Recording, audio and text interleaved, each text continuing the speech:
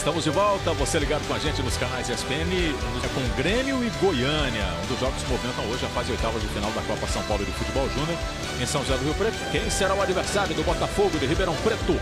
Será o Grêmio? Será o Goiânia? Botafogo já eliminou o Fluminense, já está lá, já está classificado, já está na fase quartas de final.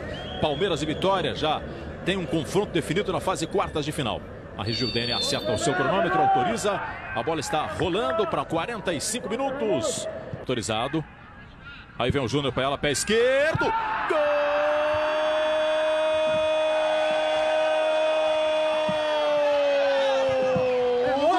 Gabriel, cobre Comemora o Júnior como se fosse com as mãos. Coloca essa bola na gaveta, no ângulo superior direito do gol do Polaco.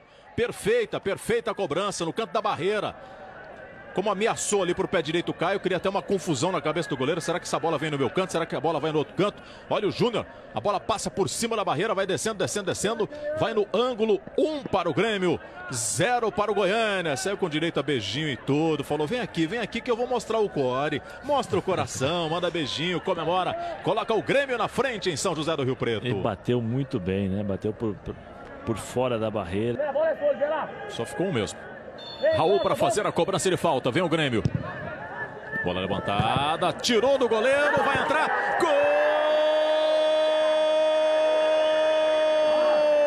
Gol do Grêmio. A bola na cabeça do Luiz Felipe. O goleirão ficou vendido no meio do caminho. O Vico ainda foi para conferir. Olha como o goleiro sai. Essa bola sai do goleiro. Luiz Felipe mete a cabeça. A bola explodiu no próprio zagueiro bateu no zagueiro, bateu no Ramos e entrou. Mais uma vez, imagem recuperada para você. Luiz Felipe cabeceia. A bola bate na perna esquerda do Ramos. A comunicação falhou geral ali, né? Porque o Ramos até se encolheu, porque o goleiro estava saindo. Ele se encolheu para evitar uma trombada com o goleiro. O Luiz Felipe tocou, sai para comemorar com o Raul. Dois para o Grêmio, zero para o Goiânia. E a batida de bola do Raul de novo, né? O Raul tomou cartão no lance seguinte, Cledir. Aí vem a equipe do Grêmio na bola tocada por dentro. Pode pintar mais um. Tá aí. Gol! Beijo pra você! do Grêmio! Do Tai! Mandou um beijo, acelerou a jogada, chegou. É muito agudo. Olha como o Tilica de bate-pronto. Luiz Felipe fez bem a parede, fez bem a proteção. O Tai acelerou a jogada, não deu tempo para cobertura. O Grêmio vai definindo a vaga, fase quartas de final da Copa São Paulo de Futebol Júnior. Jogada muito bem trabalhada pela equipe do Grêmio. Tilica fazendo o passe para o Luiz Felipe, essa parede funcionando e o Tai entrando em diagonal, né? Diferente, diferentemente da movimentação do Vico, né? Que o Vico ele, ele buscava mais o lado do campo. O Tai entrando em diagonal. Está jogando o Grêmio lá na canhota. Partiu o Tai. Aí vem o sul-africano na jogada pela canhota. Toca por dentro, Tontini, pé direito para mais um.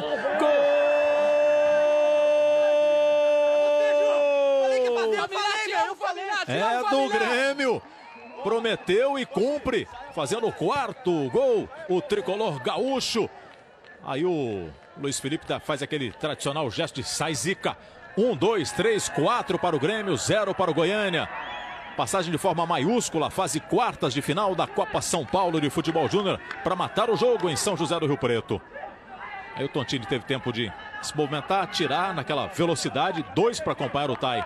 Não conseguiram acompanhar, tirar do goleiro e colocar essa bola para as redes. Jogada muito bonita, a velocidade do Tai impressionante, né? É porque tem jogador que corre e não pensa.